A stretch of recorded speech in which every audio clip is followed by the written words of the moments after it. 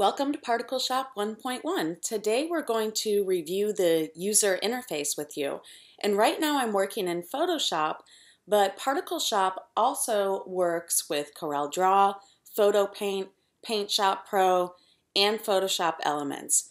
When you're working in Photoshop, we highly recommend that you go to the Arrange menu and you ensure that instead of working in floating windows, that you have your windows tiled. And you'll know that they are when you see them tabbed at the top here. And this is just so that when you go to launch Particle Shop, Particle Shop is not blocked. So step one, make sure that your windows are tiled. Step two, come to your layer and duplicate the layer because we now allow you to work in non-destructive layer format. And whatever layer that you duplicate, this will be replaced with brush strokes. So I'm going to take this background copy into Particle Shop. We'll go ahead and launch this up here. And we'll take a tour through the UI. Now before I launch Particle Shop, it's reminding me here to create a copy of the layer or object that I want to work with. So I'll go ahead and launch. We've already done that. And the first time that you launch Particle Shop, you'll be greeted by this welcome screen here. And this is just showing you the variety of additional brushes that we have available for purchase. You can preview some imagery created with the brushes and also the individual brush strokes. And you can go to purchase right now if you want to. So I'll go ahead and close that down. And the first thing I'm going to do is actually zoom in on my image here a little bit. So up on the top, I can use the zooming. I'll go ahead and change this to 300 so we've got a nice large preview. And once we're inside a Particle Shop, I have additional brush packs installed, but you will begin with the starter pack. And that's 11 brushes for you to get started with.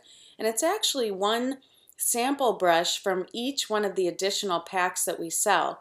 There's no duplication in the brushes at all, so no need to worry about that. Now if we come over to the left, this is where our toolbar is. And right now I've got my brush tool. And we also have the fabric brush selected. So I can either use the color wheel, and I just launch that by tapping right here. Outside is the hue, inside is saturation or value. I can mix up a color that I would like to paint with. We can also pin the color wheel down. So if I want to click the pin right here, that will ensure that the color wheel will stay in this location while I'm working in Particle Shop. So now I can begin to create with my fabric brush. We see this really beautiful wispy fabric. Up on the property bar, I can choose to size the brush.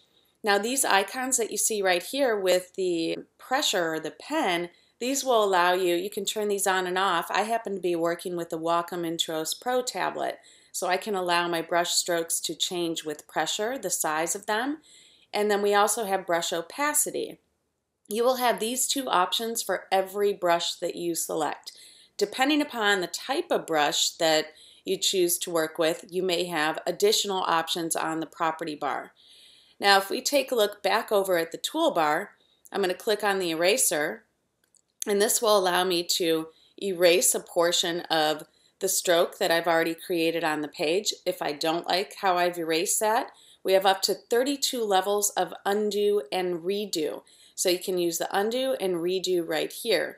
Now if I come all the way over to the left, this is going to reset the entire document back to its, its original state. So it would completely remove any brush strokes that I had placed out on the page.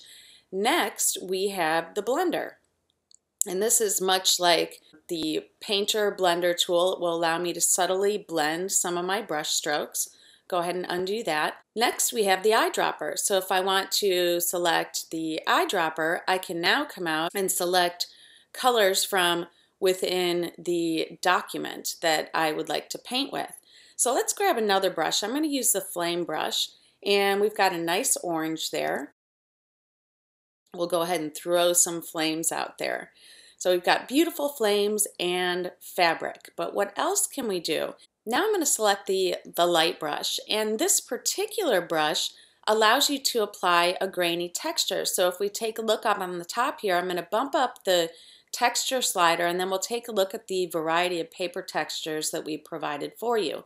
So let's select this dot pattern and I'll go ahead and put a light burst out on the page here and what we can see is it is actually incorporating that texture within the stroke and you can change these on the fly as you're working. So that's an example of an additional option that you have to play around with. Let's go ahead and grab our smoke and we will just maybe throw a little smoke coming along with the fire there. Now if I select the fur brush, this brush will allow me to adjust my variability. So if we come and let's say maybe I'm going to grab kind of a, a pink sort of color here and we begin to paint with this fur brush, you can see right now it's painting with 100% color. If I want to undo that and I now come and I adjust my value variability, we increase this, let's maybe increase that all the way, we'll see that it now incorporates a variety of different values within the brushstroke. And if I zoom in here, you'll really be able to see this furry texture. And I'm just pressing the space bar in order to pan the document. So if I press lightly, it does a very subtle value variability incorporation, and it's going to be 50% value of what you see inside of the value triangle right here.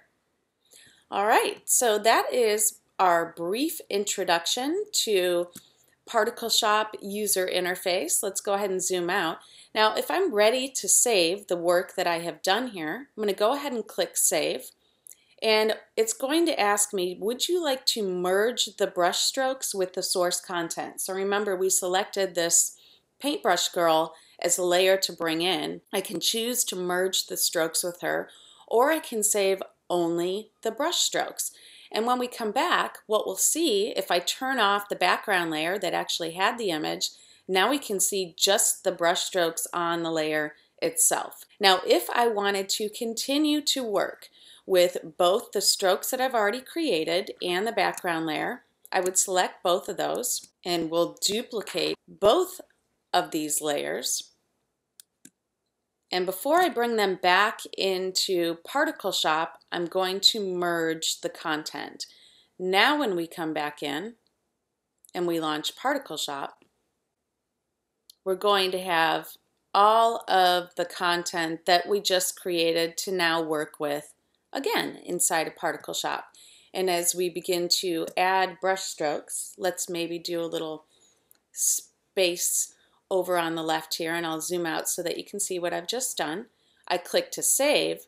When I come back, it is only going to save all of the content that I brought in, which was the girl and the strokes has now been replaced with just the space stroke that I created.